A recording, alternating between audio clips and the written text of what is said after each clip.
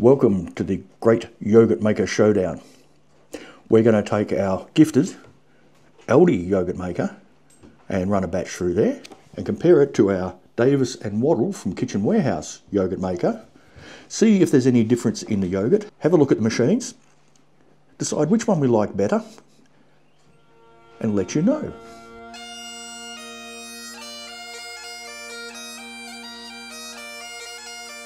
They make very slightly different amounts and we're going to measure it so that we know.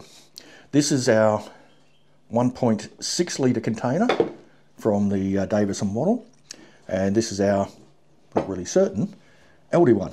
To get the volume similar we're going to use a larger Aldi container and the smaller Davis and Waddell, I've got to keep looking at that, I'm terrible with names. Our smaller Davis and Waddell uh, 1.6 litre container and we'll measure it out so we know roughly how much we're we're using. Well, not roughly, exactly how much we're using. So we'll get a litre, which Roofy wants to drink. Come on, Roof, stop it.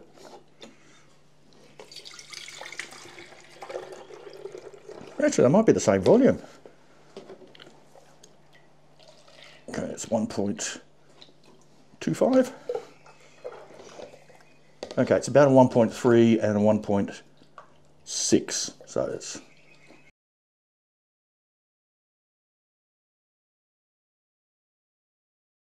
It's very full, but there we go. That's 1.6 litres. And the first thing we'll notice is plastic for the Davis and Waddell, glass for the uh, Aldi one. This feels much more solid, much nicer. This is feels like cheap plastic.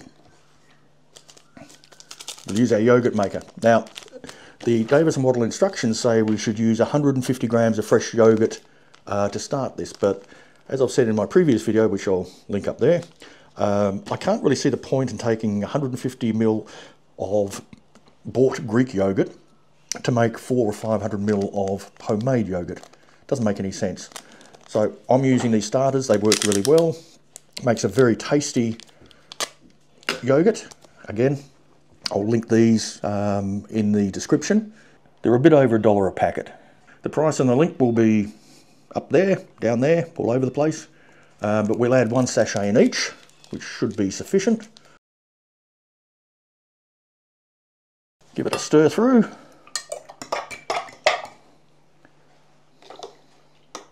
So here we have the two side by side and immediately you'll notice this has got a aluminium or some form of metal insert.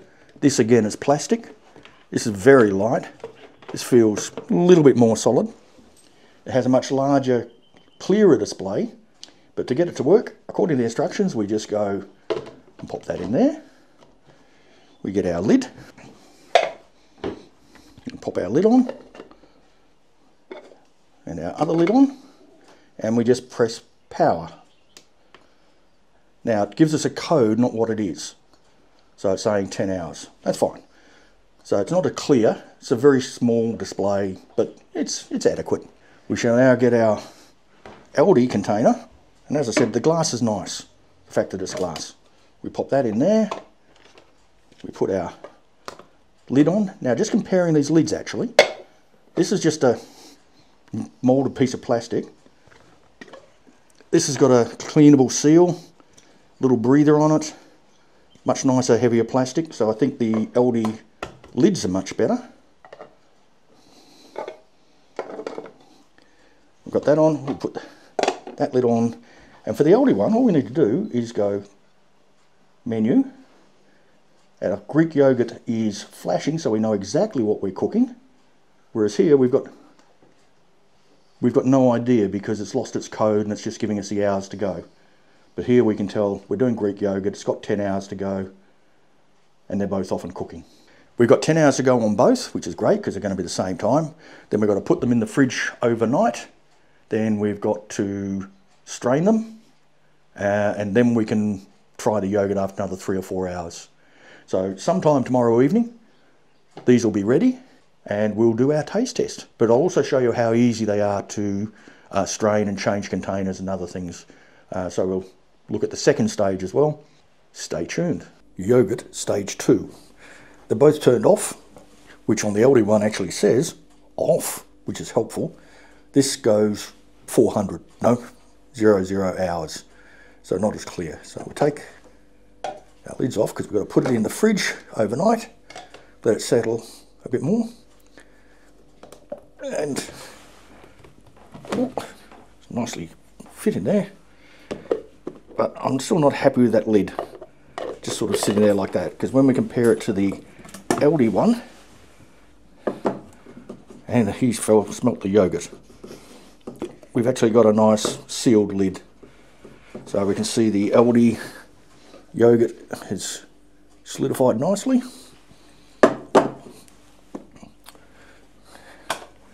Our kitchen warehouse one seems to have gone similar. Can't really see any difference at the moment. Can you? No. Alright, so now we've got to pop it in the fridge. And as I've said, I'm not keen on this lid. Alright, we'll turn them off, pop them in the fridge, and then we'll filter them tomorrow morning. Stage three. The cooked yogurt has been settling in the fridge overnight, so we now have a ah, somewhat, that annoys me, I don't like that. Stop licking everything.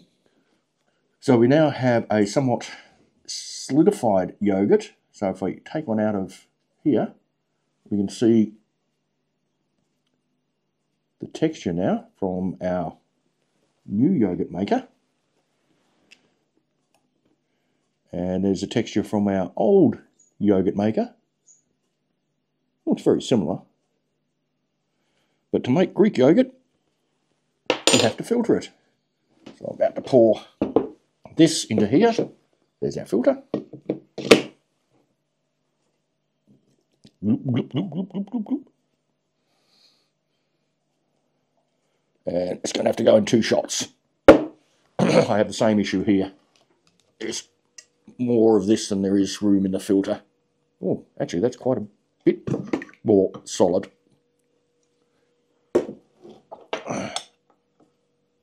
So I would actually say that that is a little bit more solidified from the Aldi one than from the new one. So we need to let that clear out a bit. All the whey will come into the bottom there, which we can see on the Aldi one, but we can't see on our cheap plastic one. So I think the more I look at these two, the more I like the Aldi one. Anyway, we'll just let that drain. We'll get the last of it out because there's still quite a bit left in both of them. We let it drain for a few hours. Yogurt, stage four. So we've got our Aldi and our kitchen warehouse one, which I also found online for Amazon for exactly the same price as I paid for it from Kitchen Warehouse. So no, it wasn't half price. Anyway, let's have a taste. Take the lids off and oh, can come in and have a look. We can see, oh, get the sieve out. There's our kitchen warehouse, nice and solid. There's our Aldi one, and we can see the amount of whey that's come out of it there.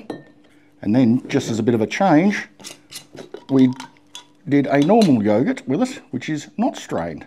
So that's quite runny. Well, runny compared to these. So we're going to give it a taste. I'm going to try this one first. And it's good and thick and creamy.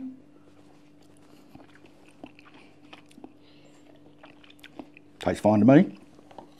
We'll try the Aldi one, which again, thick and creamy, and I think it may be slightly thicker and creamier than the other one.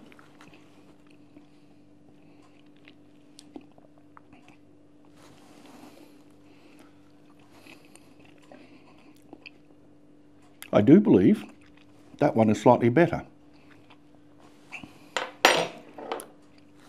And then we have our normal yogurt, which is unstrained. as we can see, it's that yogurt. Thick, much milder, quite nice, but I think I prefer it that way. So to sum it all up, what I think of them. I am disappointed in this one. It's cheap Um, I wouldn't say nasty because it works. Everything is plastic. It doesn't have a decent lid, and I keep going on about that, and it's annoying. It really annoys me. It doesn't tell you on the timer that it's turned off or what type of yogurt it's making. It just gives you a code. The Aldi one, you can see what's going on.